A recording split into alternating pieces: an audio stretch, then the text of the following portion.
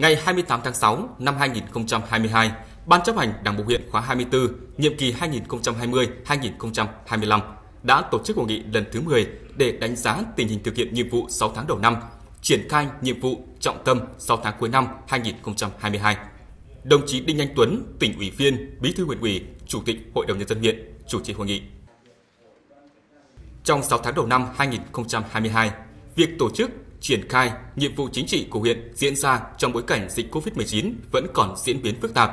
Song cấp ủy, tổ chức đảng, chính quyền đã tăng cường công tác lãnh đạo của cấp, thực hiện đồng bộ mục tiêu kép vừa phát triển kinh tế xã hội gắn với đảm bảo an ninh chính trị, trật tự an toàn xã hội, phòng chống dịch COVID-19, các cơ sở đảng thực hiện tốt công tác xây dựng đảng, hệ thống chính trị vững mạnh, kỷ luật, kỷ cương được tăng cường. Lãnh đạo tổ chức thành công Đại hội thể dục thể thao các xã thị trấn, Đại hội đoàn cơ sở, Đại hội cựu chiến binh huyện. Công tác giáo dục chính trị tư tưởng tiếp tục được chú trọng, triển khai thực hiện tốt các nghị quyết Đại hội Đảng bộ huyện đã đề ra. Công tác tổ chức cán bộ, kiểm tra, giám sát, thanh tra, công tác dân vận của Đảng tiếp tục phát huy hiệu quả. Mặt trận Tổ quốc và các đoàn thể chủ động nắm chắc tình hình cơ sở, tăng cường công tác tuyên truyền, vận động nhân dân phát triển kinh tế, đẩy mạnh các phong trào thi đua yêu nước, xây dựng khối đại đoàn kết toàn dân. Chương trình tái cơ cấu nông nghiệp gắn với xây dựng nông thôn mới tiếp tục được tập trung chỉ đạo theo kế hoạch. Cơ cấu cây trồng chuyển dịch đúng hướng, sản xuất nông lâm thủy sản trên địa bàn huyện duy trì phát triển ở mức trung bình khá. Giá trị sản xuất ước đạt trên 4,8 tỷ đồng, đạt 52,3% kế hoạch, tăng 123,65% so với cùng kỳ. Thu ngân sách nhà nước ước thực hiện gần 55,3 tỷ đồng, đạt 49,77% dự toán Ủy ban nhân dân tỉnh giao.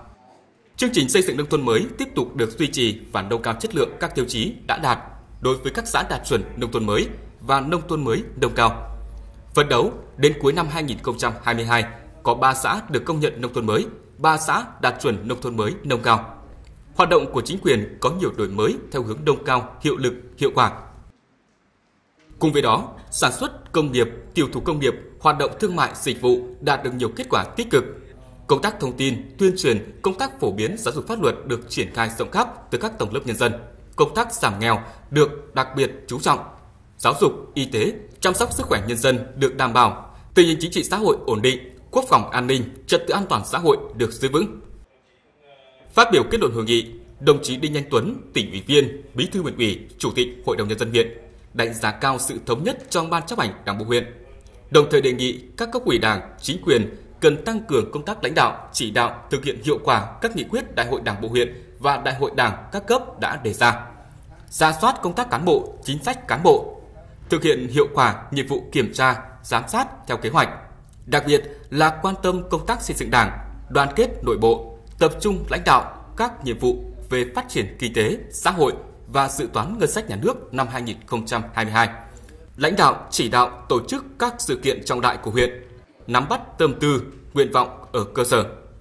Xây dựng và duy trì các mô hình điển hình dân vận khéo gắn với thực hiện phong trào thi đua xây dựng nông thôn mới, đô thị văn minh, thường xuyên tổ chức đối thoại với nhân dân, xử lý kịp thời những vấn đề bức xúc của người dân trong thời gian tới.